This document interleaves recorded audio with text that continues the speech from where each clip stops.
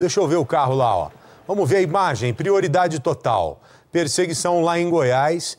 Isso aí foi em Anápolis. Anápolis fica a 50 quilômetros de distância da capital do estado de Goiás, Goiânia, terra do meu amigo e irmão Fernando Faria, grande Fernandinho, que apresenta o coração de pescador. Olha lá, cara, eu, eu tô entendendo da seguinte forma: esse peladão roubou o carro ou furtou o carro, provavelmente furtou. Aí na, na fuga aí perdeu o controle do carro, bateu ali os cambal. Agora, o, o Garrafa, que papo é esse, meu? Que que é isso aí, esse cara pelado dentro do carro? Te explicaram alguma coisa ou não? Você sabe, João, que a gente ligou até ah. lá pra polícia para entender a história e saber por que, que o cara tava pelado dentro uh. do carro.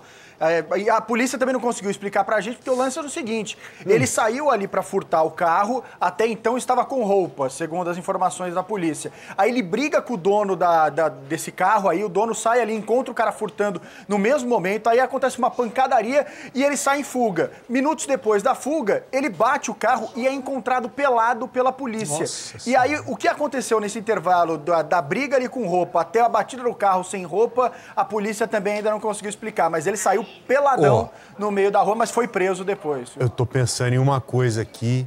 Olha aqui, ó. Ó, ele quebrou o vidro, né? Ele sai peladão escorregando aqui. Aqui tá cheio de caco de vidro, ó. Aqui tá cheio de caco de vidro, ó. Ó, imagina ele escorregando agora. Imagine não, olha. Aqui tudo, ó, cortante, igual o muro. Já viu aqueles muros que a gente põe o cimento e põe caco de vidro lá? É a mesma coisa. O cara desce deslizando, igual uma foca entrando na piscina, já viu? aquelas foquinhas do SeaWorld lá, entrando na piscina, né?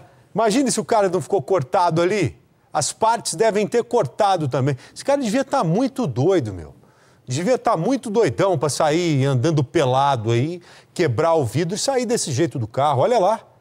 Deve ter cortado até, pelo amor de Deus.